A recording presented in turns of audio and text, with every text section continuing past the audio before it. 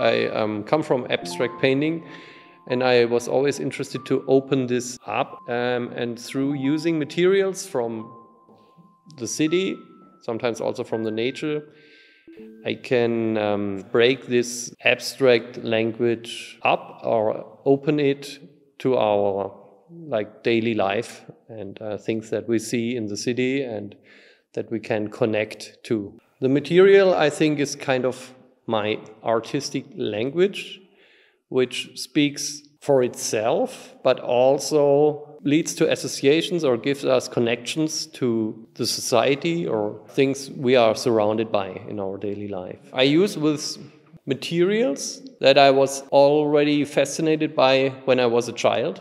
My parents tried to educate me in a more tasteful way, but I was always interested in the other side, and I kind of kept this. So I started to work with colors that I hated the most. I found it interesting to see it on canvas, to experience more than if you just say, oh, what are my favorite colors and, and use them, then maybe you end up still there where you have been before. And I think it's interesting to go much more far out and maybe then you learn also more about yourself. And maybe there's a reason why I hate these colors. Those colors that I chose in the beginning are still part of my work or main part of my work and now are my favorite color, so it can change yourself as well.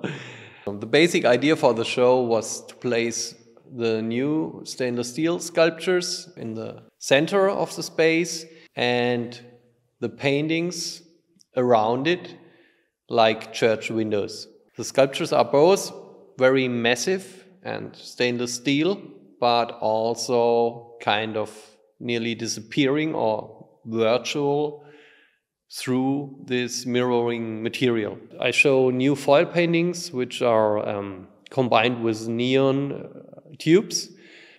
And at the same time, I'm showing new paintings and the first photo works I did. When I work with the neons, I work with them as a three dimensional abstract drawing and the direct symbols that you can immediately connect with. What interests me most in art is the energy that I can find in some artworks. I think the aspect of fun can be part of it to make it fun and to, to give it joy. And for me, the strongest ideas are the most simple ideas in art.